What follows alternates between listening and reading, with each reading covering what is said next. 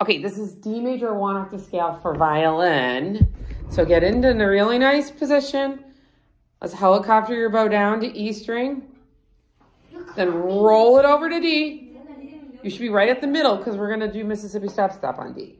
We're going to do the D scale with Mississippi stop stop. Here we go. Ready? D string. Ready? Go. Number one, put it on D.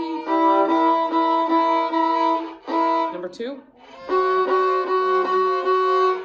Number three. Okay, take your fingers off, roll to A.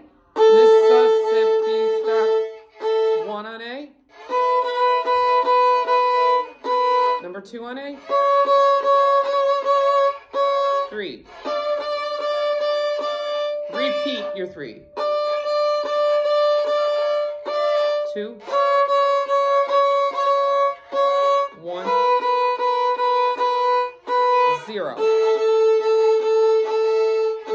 Set one, two, three on D. Roll your bow over to D. Ready?